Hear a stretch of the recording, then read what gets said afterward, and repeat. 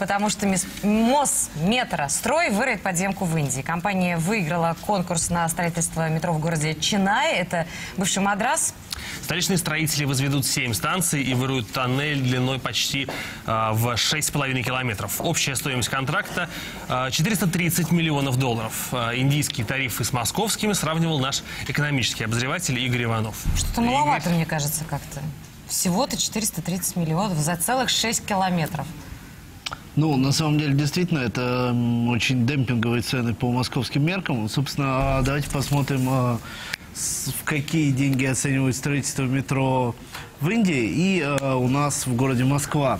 Ну, вот, собственно, вот этот проект, который выиграл Мосметрострой, 7 станций, 6,5 километров туннеля. Причем Мосметрострой наняли, потому что это сложные туннели, а у как раз русских строителей метро есть экспертиза в а, рытье сложного туннеля. Он а, двухполосный, а, и там, значит, сложные э, разного рода технические условия.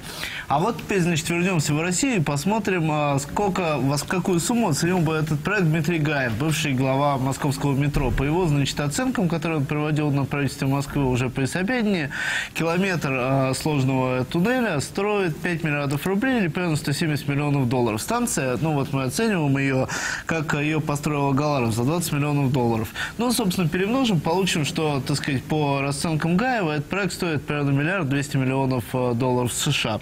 А Александр Кузьмин еще при Лужкове оценивал стоимость строительства... Александр Кузьмин – это главный архитектор Москвы. да, пардон, Моа.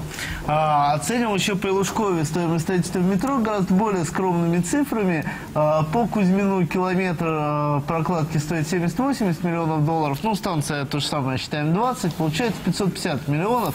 Ну, что, а, в принципе, тоже примерно на 25-30% дороже, чем в Индии.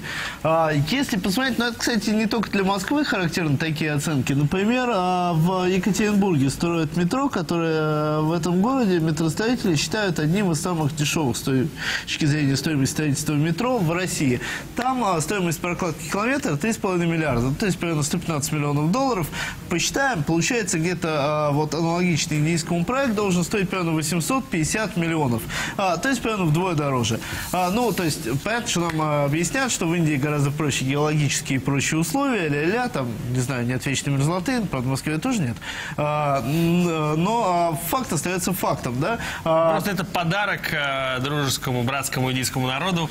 Хинди, Руси, Пхайпхай и... Не совсем так. А, вот а, если посмотреть на Transparency International, считает, все знают такой а, Corruption Perception Index, индекс принятия коррупции в разных обществах. И если мы посмотрим на 2002 год, то Россия с Индией стояли бок о бок. Рейтинг был одинаковый 2,7.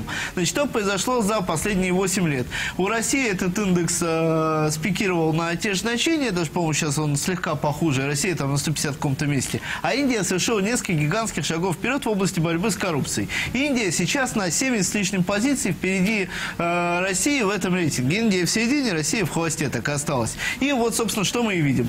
Э, за э, тот же проект в России просят два с половиной раза больше денег. Ну, вот как шутит один мой знакомый бизнесмен, а, норма отката 70%, как у Геринга. Вот, а, возможно... Назовем это коррупционный коэффициент такой, да? Что? Коррупционный коэффициент. Ну да, получил заказ на 100 рублей, 70 отдай. Ну, вот, э, так сказать, очень похоже, что в этой шутке какая-то, так сказать, лошадиная доля правды. Ну, потому что, как это иначе объяснить? Спасибо, Игорь. Э, Игорь Иванов сравнивал... речи потеряла. сра- Ну да, как-то трудно, трудно даже обсуждать эм, эти цифры. Как-то все очень убедительно. Игорь Иванов сравнил откаты при строительстве метро в России и в Индии.